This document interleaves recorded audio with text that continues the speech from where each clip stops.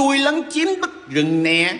Tôi có 35 trên 36 công trình không phép nè. Anh coi đi, Ai dám làm gì tôi Tôi chắc tưởng Thằng này mày dám thách thức luôn. Mày để anh Anh sẽ coi cái lô này cho mày. Tờ 31 Thửa 8568 À diện tích thì được 2.300 mét vuông. Ừ Ừ.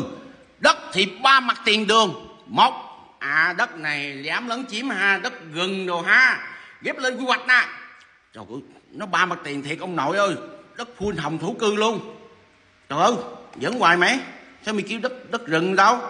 Trời đường 6 mét. Đường ờ, uh, 15 mét. Trời ơi Một đường nữa 11 mét. Trời ơi Ba lô đất, miếng đất ba mặt tiền Đẹp dữ mày. Chỗ nằm trong khu dân cư luôn. Ghép lên vệ tinh nữa có nhà sẵn luôn. Là một căn nhà vườn hoành tráng dữ hả? Ủa, gọi đây đất dân cư mà đất rừng đâu mày? Mày lừa anh hả? Tính ra mày ờ, lợi dụng khầy của anh ờ, Để anh chết phi cho mày hả? Chỉ có khầy của anh mới được phi thôi nha. Bữa giờ là chết cho ông hơi nhiều mà không có ly cà phê đó.